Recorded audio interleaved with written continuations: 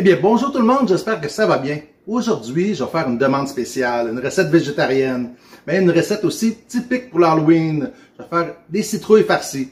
Avec les mini citrouilles, je sais qu'il y a beaucoup de monde qui décore leur maison avec les mini citrouilles comme ça. Et après l'Halloween, ben, ils les jettent, mais c'est très bon à manger. Et c'est pour ça qu'aujourd'hui, on fait une recette de mini citrouilles farcies végétariennes. Voici les ingrédients qu'on aura besoin. Donc, 2-3 mini citrouilles. Si sont grosses, on va les couper en deux, ça va faire deux portions. Mais les petites, comme celle-là, ça va être une portion. Donc ça, c'est une mini citrouille euh, verrues. Euh, c'est bon à manger aussi. Deux tasses d'épinards. Là, c'est des bébés épinards. 100 g de fromage à râper. Donc moi, j'ai pris du cheddar orange, mais on pourrait prendre du mozzarella aussi.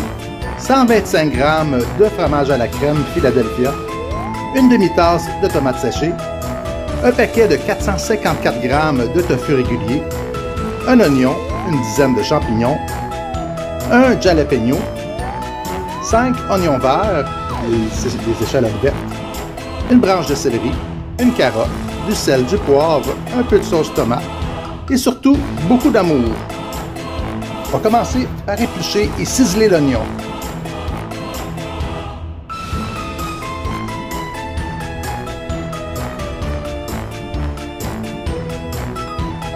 On va ensuite couper le céleri en macédoine.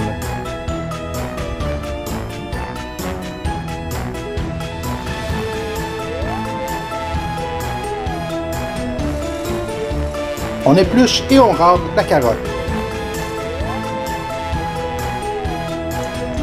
On va ensuite laver et émincer les champignons.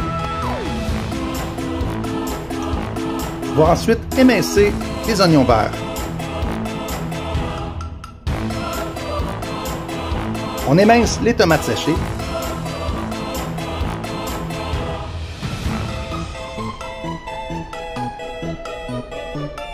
Pour ma recette, je vais utiliser l'huile des tomates séchées, mais si vos tomates séchées ne sont pas dans l'huile, on va prendre un 30 ml d'huile euh, qu'on va utiliser pour faire sauter nos légumes. Moi, je vais prendre cette huile-là. On va hacher le jalapeno. Donc moi, je le coupe en deux. Je retire les pépins. En réalité, j'ai coupe en brunoise, mais ceux qui ont de la difficulté à couper en petits morceaux, on pourrait tout les couper et hacher avec le couteau comme euh, des fines herbes.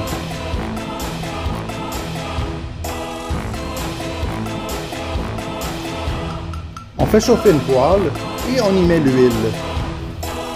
Quand l'huile est chaude, on y met nos légumes.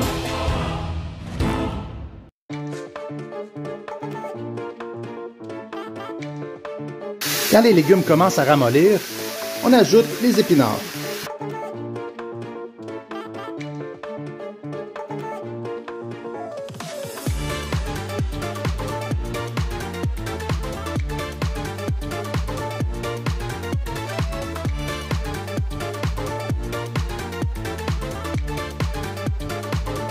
Quand les épinards sont tombés, ça, veut dire qu'ils sont devenus tout mous, on rajoute le fromage à la crème.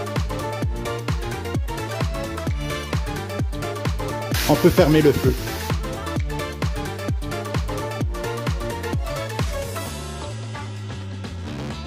On assaisonne de sel et de poivre.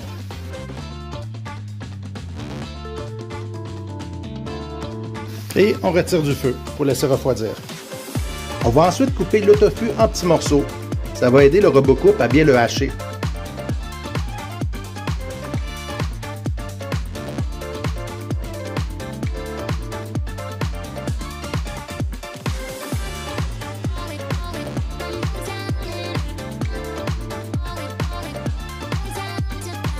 On la hache jusqu'à temps que ça devienne vraiment comme en, en petites granules, comme du couscous.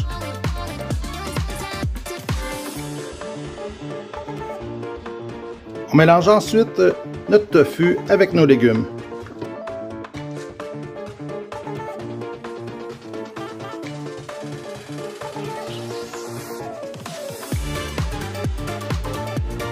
On va goûter pour voir si c'est assez assaisonné. Ça, c'est toujours important de goûter. Hein? C'est le secret des grands chefs. C'est très bon, mais on va rajouter un peu de sel et un peu de poivre. Le fût, euh, ça goûte pas grand-chose. Il Faut y donner du goût. Juste comme ça, c'est super bon, mais moi, je vais rajouter un peu de curry.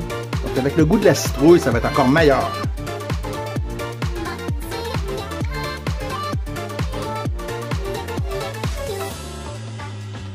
On va maintenant évider les mini-citrouilles. C'est le cas d'une mini-citrouille qui pourra faire une portion euh, comme celle-là. Donc, on va juste couper le dessus, un petit capuchon pour faire une portion. Si elle est plus grosse comme celle-là, ça, ça ferait trop une grosse citrouille. On va la couper en deux et euh, ça va faire deux portions pour cette citrouille-là. Et c'est certain que si, mettons, vous avez des citrouilles un peu plus grosses, comme celle-là, ça, ce serait trop gros même, euh, couper en deux pour une portion. On pourrait couper juste le dessus et faire euh, ben, la farcir et le mettre dans le centre de la table. Comme ça, les gens peuvent se servir euh, la farce à l'intérieur et prendre un peu de, de citrouille parce qu'on va les faire pocher.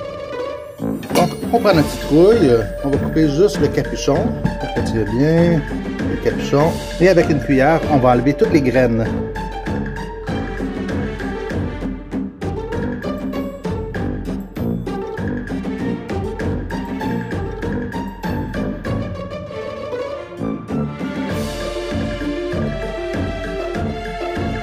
Bien propre.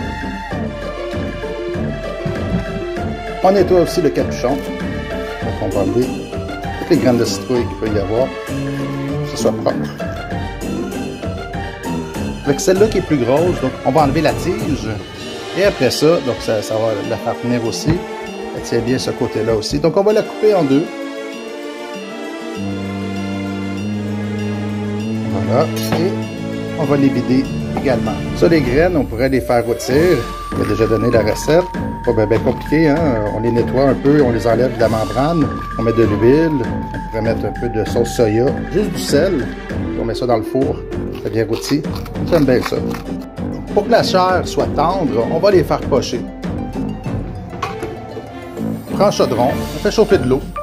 Et quand l'eau a bout, on prend nos, nos citrouilles, on les met dedans le petit capuchon aussi, et on laisse cuire pendant 5 minutes. Vu que cela est un peu trop grosse, il faut le tourner de temps en temps pour qu'il cuise de tous les côtés. Pendant que les citrouilles sont en train de bouillir, donc on va râper notre fromage. Ça, ça va servir pour gratiner notre citrouille. Comme je dis, on aurait pu prendre du mozzarella, même du gruyère, ça serait été bon. Après 5 minutes, ben, on ferme le feu et on va retirer les citrouilles pour les mettre dans l'eau glacée pour se refroidir.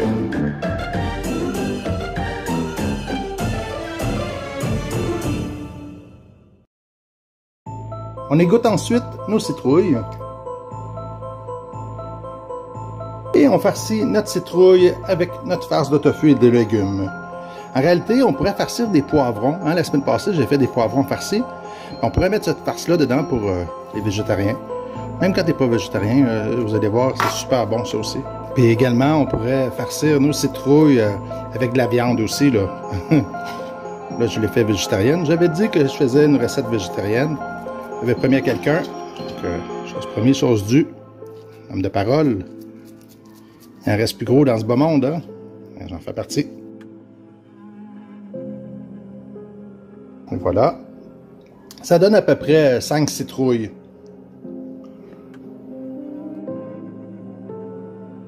Dans un plat qui va au four, on va y mettre de la sauce tomate. Ça pourrait être une sauce tomate maison aussi. Et là, c'est pas la recette, c'est la recette de citrouille farcie. Et on va assir nos citrouilles par-dessus la sauce tomate. On ajoute le fromage. Et il ne reste plus qu'à mettre au four. On préchauffe le four à 350 degrés Fahrenheit. Ça, c'est 175 degrés Celsius. Et on va faire cuire pendant 20 minutes. Après les 20 minutes, ben, on va mettre à broil pendant 5 minutes.